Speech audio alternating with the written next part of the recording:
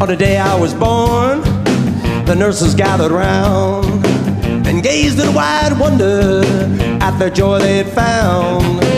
The head nurse spoke up, said, Leave this one alone. She could tell right away I was bad to the bone, bad to the bone, bad, bad.